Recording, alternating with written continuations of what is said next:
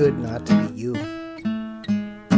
It was love at first sight and misery after two months. Always feeling fucked up either by the love or no love. I always thought was married to the single life, she said. I wasn't necessarily looking for happiness, just less pain. I should have said something. You said the only thing wrong with money is you ain't have enough of it. You said you deserve better, and now so do I. Anyways, the best part of us was me. When you got with me, you were a genius.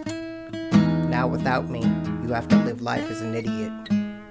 I don't write songs, I write life, I told you that. And you were only fucking with my feelings because you didn't know your own. I do miss who I thought you were, and sometimes I'm miserable without you.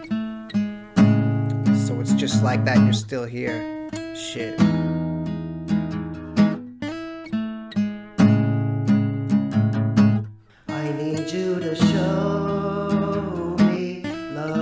close.